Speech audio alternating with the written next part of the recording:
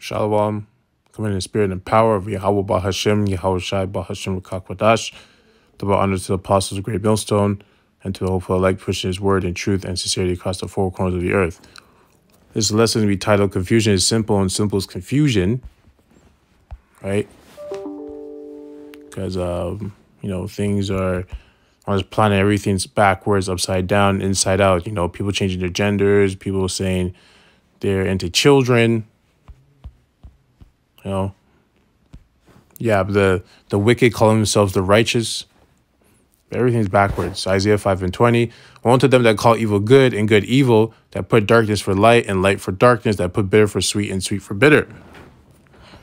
Right? So that's basically what happens now. People are saying things that are are, are good are now bad.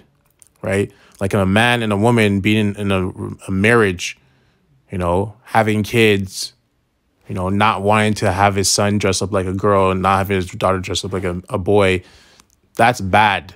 That whole situation is bad now.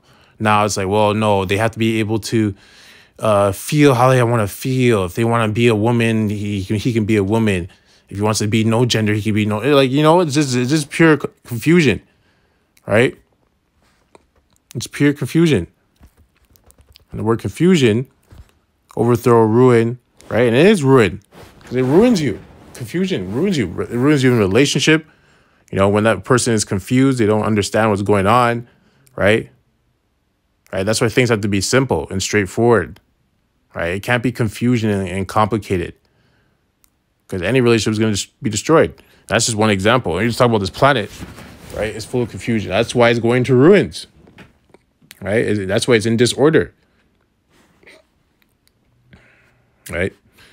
So now we're going to go to First Corinthians.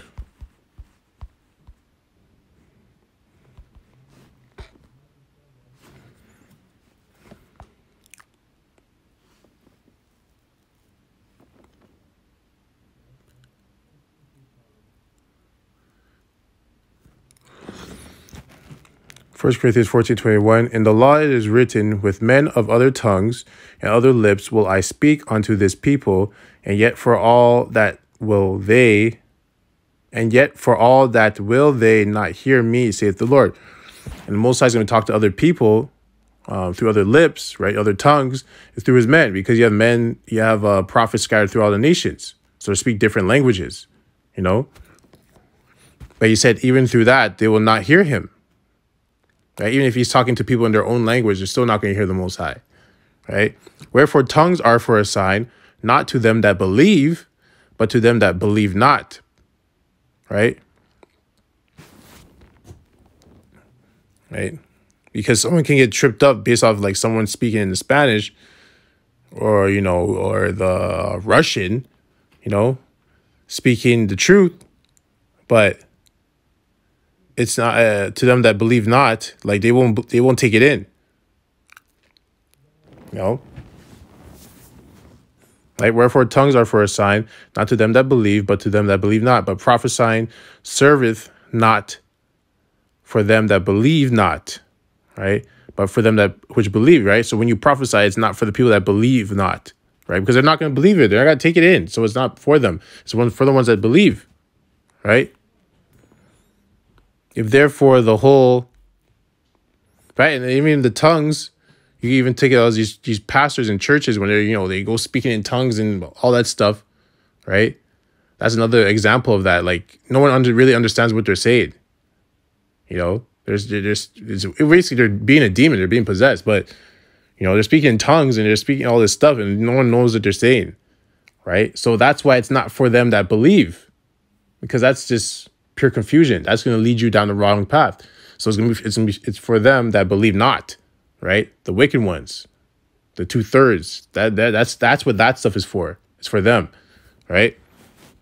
If therefore the whole church be come together into one place and all speak with tongues, and there come in those that are unlearned or unbelievers, will they not say that ye are mad?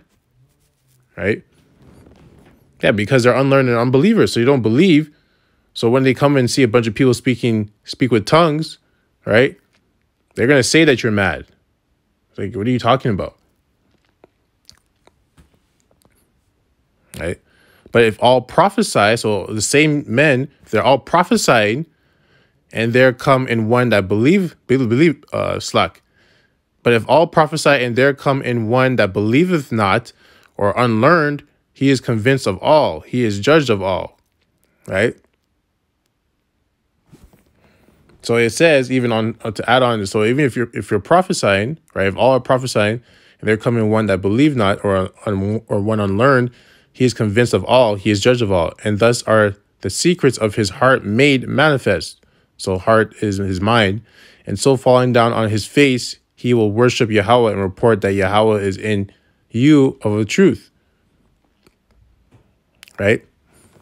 So prophecy trumps everything, basically, is what this, this is saying, right?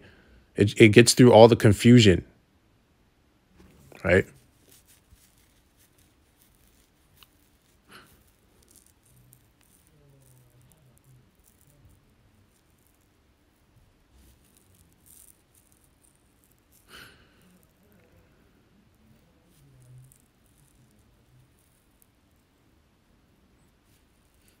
Because really, if you think about it, when you first came into the truth, a lot of we were all unlearned and unbelievers. We didn't believe because we believed we'd be in the truth. So obviously, you had to be brought in. And someone had to prophesy and give you the truth, right? And if it was meant for you, you're gonna take it in, and then you're gonna, you know, you're gonna repent and you're gonna, you know, praise Yahweh Shem Shai, right? Because that's what goes into that.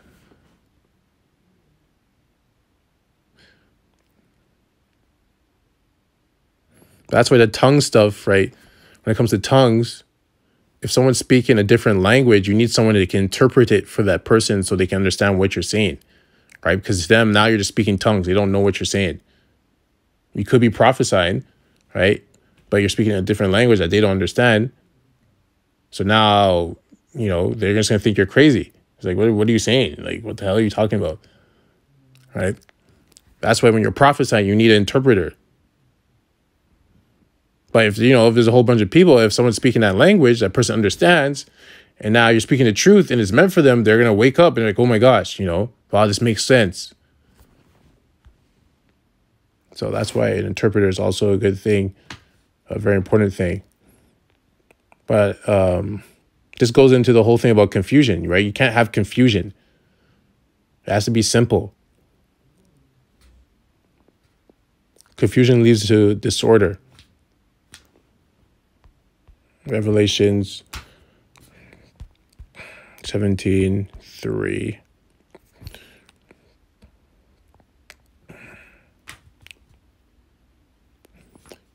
Revelations, Revelation 17 3. So he carried me away in the spirit into the wilderness, and I saw a woman sit upon a scarlet colored beast full of names of blasphemy, having seven heads and ten horns. Right. So there's America, you know, you have Babylon, you have Babylon, America, you have um the EU, NATO and the EU, right? Those kingdoms. I believe the ten, ten horns is those uh those um kingdoms of the EU, right? Because horns uh, represents power, right? And the seven heads is um those seven kingdoms. Those seven kingdoms. And Russia is not one of the. That's a, old breakdown. Apostle Tahar made that recent to say that Russia's not part of that. Um, Revelation seventeen four. And the woman was arrayed in purple and scarlet color, and decked with gold and pre- precious stones and pearls, having a golden cup in her handful of abominations, filthiness of her fornication. Right.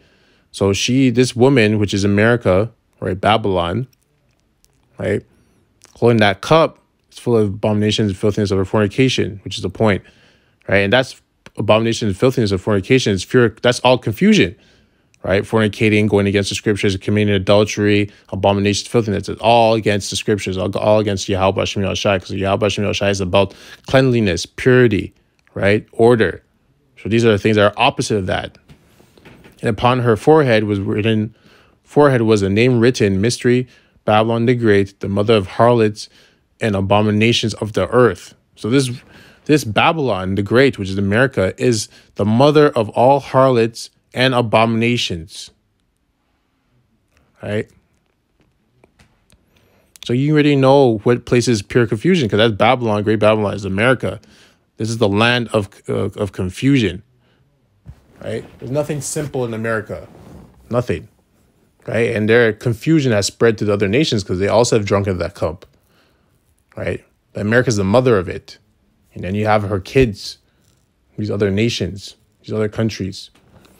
But anyways, that's it on that. Um, just want to make it quick and short one about confusion, right? So like anytime things are confusing, confusion, or yeah, anytime things are confusing, slack, uh, that's just Satan. You know, that's Satan coming in there in the midst and messing up with things, right? So you just gotta be able to see that, you know, and cast that uh, demon out of that uh, vicinity or area or your life, wherever it is.